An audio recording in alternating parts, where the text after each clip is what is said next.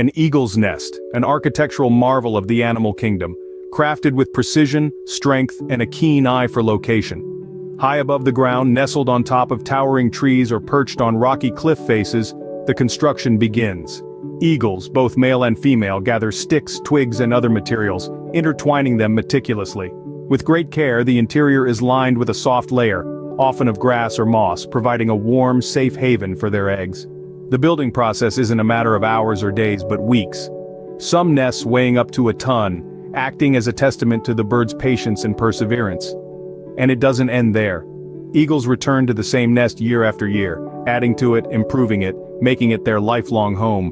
Remember, next time you see an eagle soaring high, there's probably a magnificent nest waiting for it somewhere, a testament to nature's tenacity and an eagle's dedication.